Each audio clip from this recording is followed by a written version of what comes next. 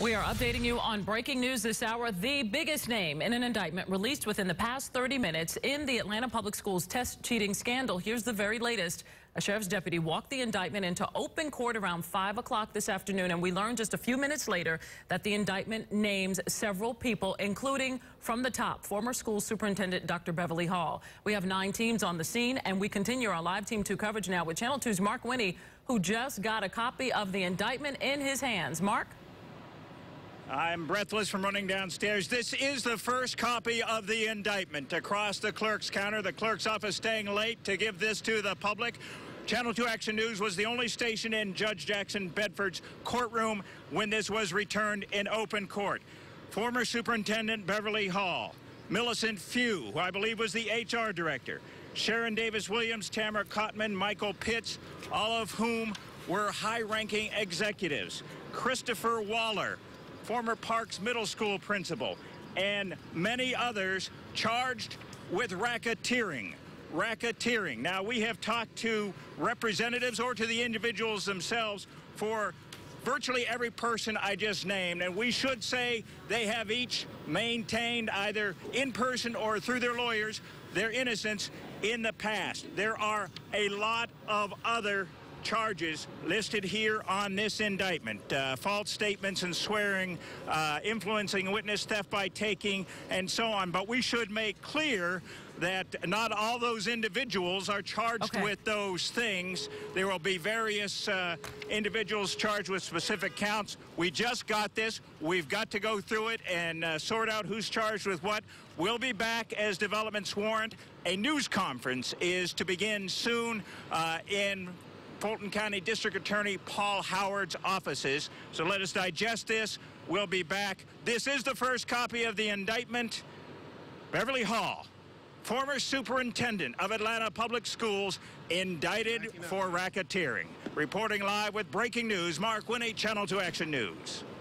All right, thanks a lot, Mark. Mark, thank you so much. So, Mark just recited a few of the names there. Of mm-hmm. course, most of the attention has been placed on the superintendent herself, Dr. Beverly Hall, who came here in Atlanta in 1999, and most felt that she was ultimately responsible for this because they said she was at the top and should have known about the cheating. She was even accused of ordering the cheating to happen in the Atlanta public school systems. As we've reported, Test scores were very low when she first came to the district, and all of a sudden they seemed to have jumped up pretty high. In 2009, the highest jump of any urban school district in the country. That raised a lot of eyebrows on how that would happen. Exactly. From 2002 to 2009, they jumped 14%, like you said, Jovita, the highest in the country. Also, as Mark just mentioned, some of the other names indicted, uh, Millicent Few, she was the Chief Human Resource Officer for Atlantic Public Schools. Of course, we're talking uh, many of the high-ranking officials here. Again, you can see Richard Elliott, some file video, video we have of him talking with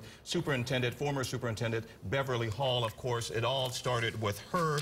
Uh, members of the grand jury believe she, of course, the first name released in that indictment.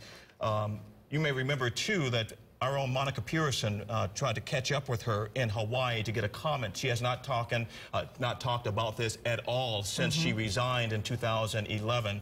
Um, she, of course, Monica Pearson tried to talk with her in Hawaii. She didn't have any comment at that time. And she has, Dr. Hall has continued to live here in Atlanta and is represented with an attorney here in Atlanta. We are waiting to hear from them and get some comment from them as well. Now, you mentioned Millif Millicent Few. She was the Chief Human Resources Officer. Here's a picture of Millicent. Um, Chief Human Resources Officer for Atlanta Public Schools. And according to the state report, the investigation on all of this, um, a confidential informant said that Few had instructed personnel to destroy documents and also she was accused of withholding other records from being produced for this state investigation. Mark said that many of the uh, folks listed in the indictment this afternoon have been charged with influencing witnesses, false statements, and also the big charge of racketeering. Michael Pitts, another name that was uh, mentioned in that indictment. Uh, he was one of the executive directors of APS. He went to Parks Middle School after the investigation began and started telling teachers and people there that he believed the inquiry was racially and politically motivated. The state report went on to say that Pitts told the teachers and principal there, Principal Waller, it was being reassigned because the cheating allegations. Now, according to Wilson, Pitts told the teachers that you better not start uh, saying anything if you are not already, uh, if you have not already said it. Of course, trying to get some of the teachers, I think, to, uh, to be quiet and not self-incriminate themselves, according to the state investigation that continued on the APS cheating scandal. Michael Pitts. Another person named in the indictment this afternoon that Mark Winne read off to us is Sharon Davis Williams. We're also told that uh, she was the SRT executive director. Um, so that's sort of a regional position that she held dealing with schools in the Atlanta public school system as they are divided up into areas that different uh, staff were responsible for. Dr. Sharon Davis Williams also indicted this afternoon along with Christopher Waller and Tamara Cotman Johnson. Christopher Waller, you see there, he was principal at Parks Middle School. We remember watching him during his tribunals as well a couple of years ago and denying the accusations against him that he had been involved in the cheating. Tamara Cotman Johnson, another uh, executive director with APS. Uh, Mark Winne talked to her, I believe, believe, exclusively yesterday. She believed that she was going to be indictment. And again, her name is one of the 35, we believe that's been mentioned in the indictment. She, according to the investigators, is responsible for aiding and abetting Dr. Hall in falsifying, misrepresenting, or erroneously reporting the evaluation of students to the Georgia Department of Education with regard to the cheating scandal scandal.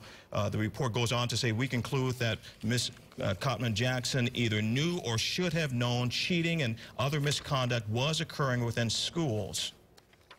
And of course, what everyone has been wondering about these past couple of years since this investigation started was the culpability and responsibility of Dr. Beverly Hall, who was the Atlanta Public Schools superintendent at the time. She is the first name on these indictments handed up today from a grand jury. Dr. Beverly Hall is named in the indictment concerning the CRCT test cheating scandal with Atlanta Public Schools. And as Mark Winne just told us, one of the biggest charges listed, racketeering false statements, and also influencing witnesses, just to name a few.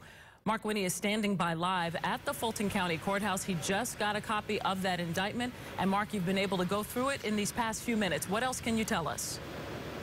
Well, we have counted 35 defendants charged with racketeering. 35. That is the information that we had uh, as the grand jury was considering.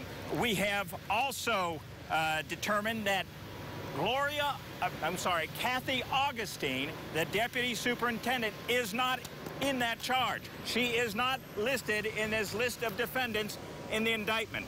Beverly Hall's number two is not listed.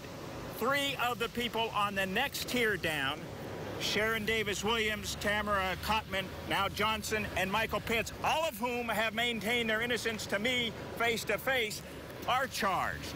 Uh, my colleague uh, Richard Elliott been here with me at the grand jury all week. As uh, you've now, you can speak into my microphone. You've got uh, you've got some more highlights. We, yeah, we've been going through uh, at least the first few pages of the indictments, and I'm, I'm just going to quote some of what is written in here. Uh, employees of APS who failed to satisfy the test result targets, they were terminated or threatened with termination, while others who achieved targets through cheating were publicly praised and financially rewarded. Beverly Hall placed unreasonable emphasis on achieving targets, protected and rewarded those who achieved targets through cheating, terminated principals who failed to achieve targets, and ignored suspicious CRCT scores gains at schools within the APS. And furthermore, it says that Beverly Hall and other conspirators would interfere with, suppress, and obstruct investigations into cheating using various methods. All right, so we're going to continue to go through this indictment. And again, as you said, we did interview Tamara Johnson, former Tamara Cotman, yesterday. She said that she'd been reading Psalms 27, was relying on her faith, and that the truth would set her free. So we'll be back with you. For now, reporting live with breaking news, Mark Winne, Channel 2 Action News.